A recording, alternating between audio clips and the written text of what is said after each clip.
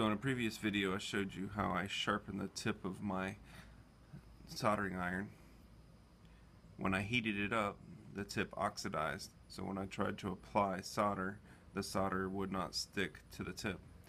So I'm going to refile this down and what I'm going to do is wrap it in solder before I heat it up.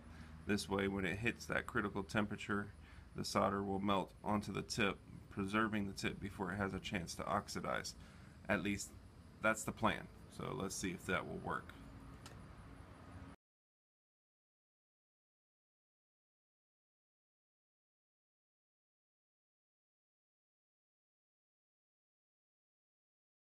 So the oxidation came off pretty easily. So now I'm back down to bare copper. Now I'm going to take my solder and see if I can wrap this pretty easily. And all I want to do is wrap it really tight in a coil. That way, when it does melt, it melts evenly over the copper.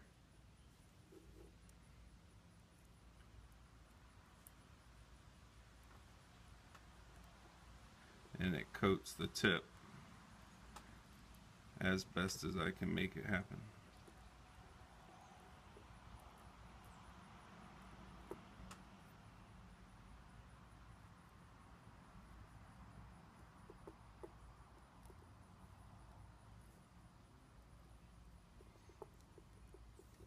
I'm going to use my wire cutters to cut the solder. So that's covered pretty well. There's no air really getting, hopefully getting to the copper as it heats up. Now let's put it back in the soldering iron.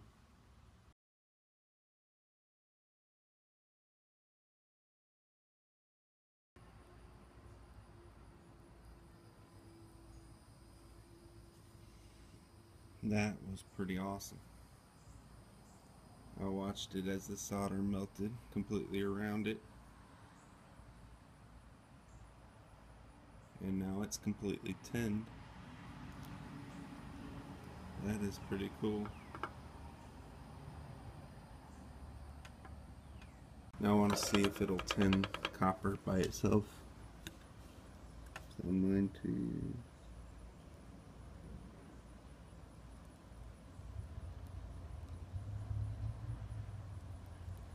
seems to be taking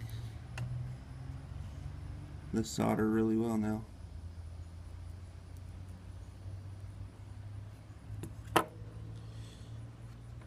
I'm going to unplug it. I retinned it so there's plenty of solder on my tip and then I can turn it off.